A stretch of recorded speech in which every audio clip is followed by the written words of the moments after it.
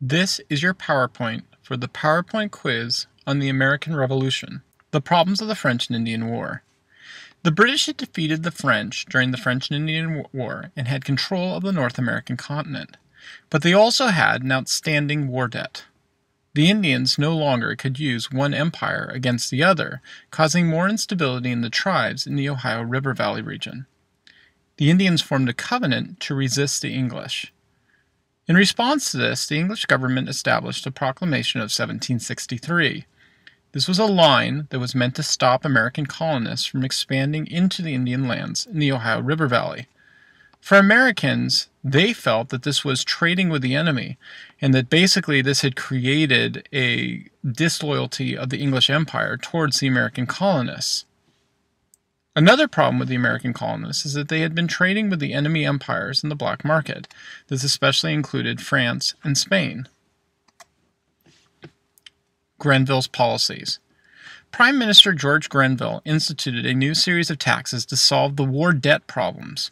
He discovered that Americans paid about 2,000 pounds in taxes, but cost 7,000 to actually collect. So he passed the following acts the Currency Act, which was a tax on paper money to stop Americans from printing substitute money to the English pound, the Sugar Act, which lowered the tax on French imports of sugar and molasses, but switched trials of black market smugglers to Britain, and the Stamp Act, in which the government stamped papers on certain goods. The Stamp Act. Probably the most difficult of all these acts was the Stamp Act. American colonists were angered most by this particular policy. It provided for a direct tax on paper goods, and this bypassed the authority of local legislatures. This did not affect the rich or the poor because the tax was on legal wills, dice, and cards, but the middle class was most impacted and the most enraged. Samuel Adams led the Sons of Liberty in protest marches in Boston. Riots then occurred in Massachusetts, burning down the homes of people like the merchant Thomas Hutchinson. The American complaints. The Americans' main complaint was that they had a lack of representation on the issue of voting. They also claimed overtaxation. James Otis argued that tyranny was due to a lack of representation in the House of Commons. The merchants in Boston wanted to trade with other empires in the world market in order to seek out better prices on goods due to competition. The British replies. The British claimed that English citizens paid two thirds more in taxes than Americans even after the new taxes had been put into place. Also, they claimed on the issue of representation that the English Empire worked off of something called virtual representation, in which all citizens were represented by those who were in office. The British officials made decisions for the common good, otherwise, the entire empire would suffer, including those in Parliament. American representation in the English Parliament also would only marginalize them as a small group, and they would never gain real power. In other words, even if the Americans had, had been given representation, it would only end up being a disadvantage to them since there would be so few Americans who were actually doing representation in the English Parliament. The resolution of the Stamp Act crisis. The Boston merchants formed a non importation group. They stopped buying British goods, and this had a negative effect on British profits. So the British decided to relent and get rid of the Stamp Act. But they faced a real problem. If they gave in to all the riots that were taking place, this would hurt British authority. So they passed the Declaratory Act. This act stated that the Stamp Act would be removed, but only because the British authority had made that decision, not due to colonial protests.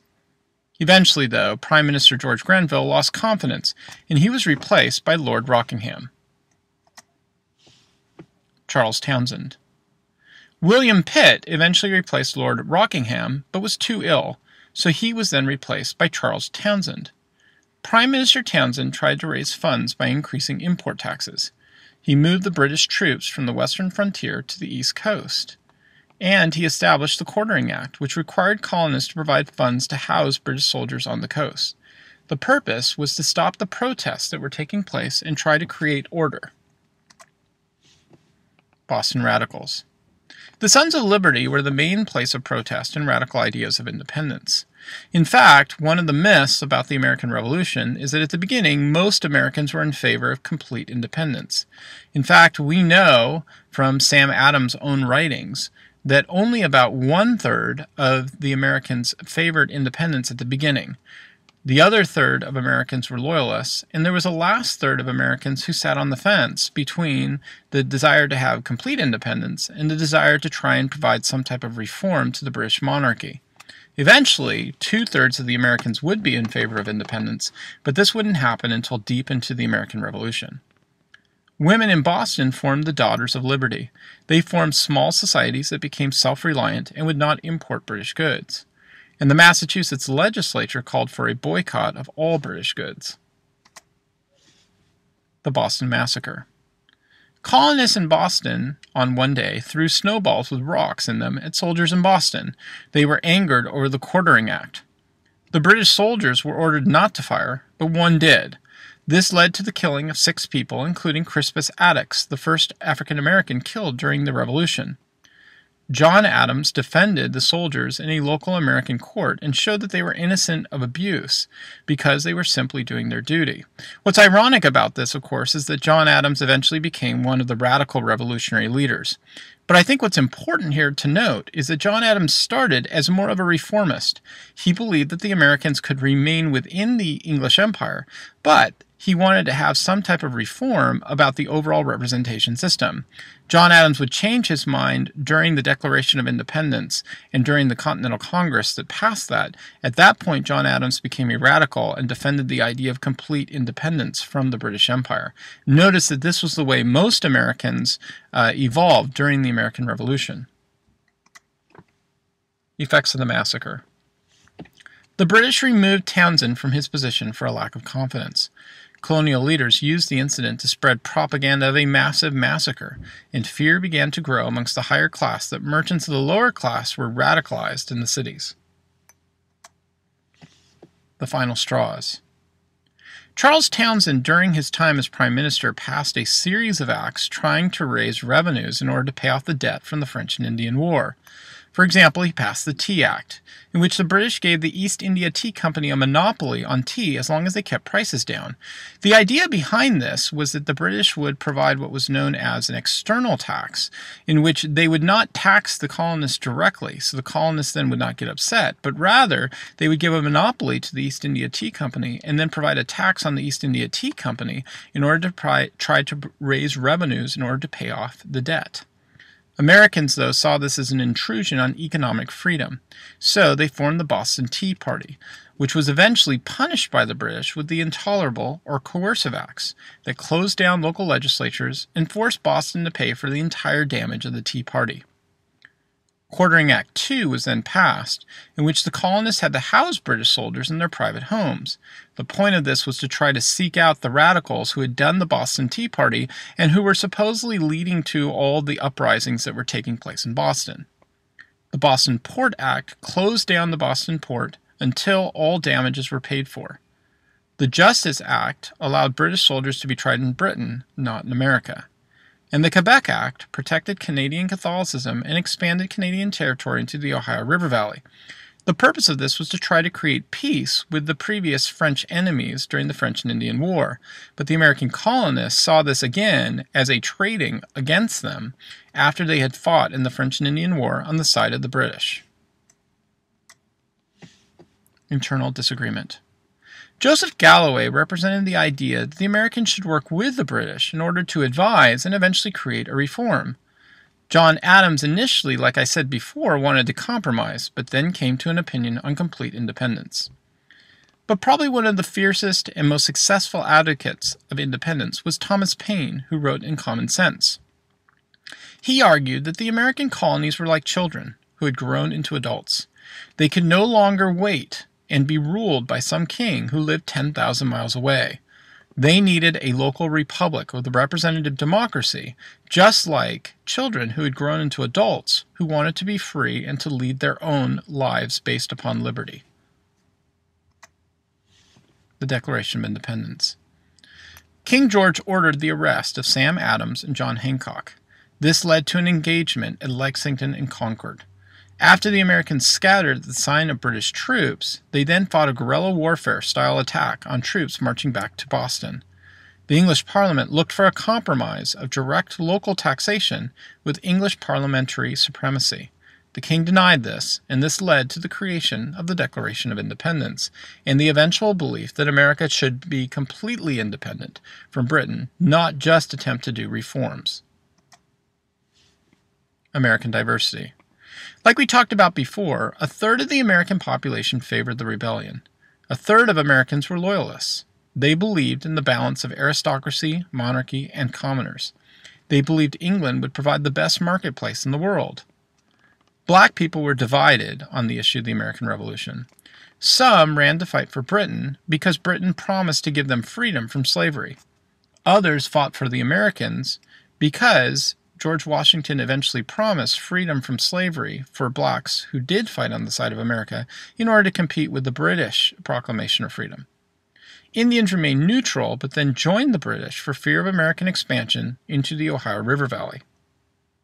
The British strategy during the Revolution. The British decided a four point strategy on defeating the Americans. Number one was to overwhelm the Americans with superior force and isolate the radicals from civilians. Remember, at this time, the British had the strongest army and navy in the world.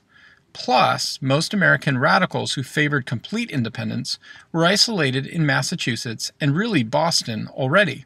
The British believed that they could completely isolate these radicals, they would cut off the head of the revolution. Number two, isolate the Americans with superior British naval blockade.